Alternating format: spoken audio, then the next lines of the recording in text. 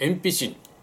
パイオネックスの貼り方と取り方について説明します。鉛筆芯が効くか効かないか鎮痛できるかどうかっていうのはその貼り方にもあります、えー、痛みを取るには弱い、えー、優しい刺激じゃなきゃいけないんですけどこの、まあ、これちょっと拡大してるんですけどパイオネックスを貼る時にも貼り方が悪いと効かないんですね。まあ効かないってことはないんですけど効き目が弱い。どういう時かというとこの刺した針がまっすぐ刺さってる時にはですねこうまっすぐ刺さってる時には、えー、痛みを全く感じません。上からこうちょっと押さえてグリグリってやってみてください。ところがこれがこう少し斜めに斜めに刺さった場合には上からちょんちょっと触るとチクチクするんですね。チクチクするっていうことは刺激が大きくなってるわけですから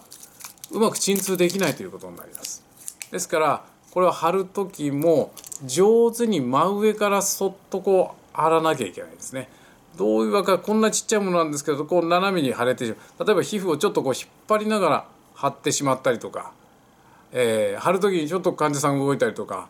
えー、皮膚の柔らかいところに貼る時にピュッとこう曲がってこういうこういう貼り方ですよねまあ言ってみればこういう貼り方をしてしまったりとかそうすると痛みが、えー、チクチクしたものが残ってしまいます。で剥ぐ時も貼ってますよね。で私の場合この白い紙ほとんど残してるんですね。なぜかというと痛みが取れた時にはこれ剥いでしまうからですね。剥ぐ時もこれパーンと剥いでしまうと刺さってる針がパーンとこう弾けるように強刺激になりますのでまあ剥ぐ時も優しく。手袋してる時とか、まあ、アルコールで綿花でこうちゃんと拭いてれば後を撫でてやる。綿花で衝動のの面下でもいいですか？らこう少し撫でてやると刺激が強くなりそうなところをちょっと緩めてあげることができます。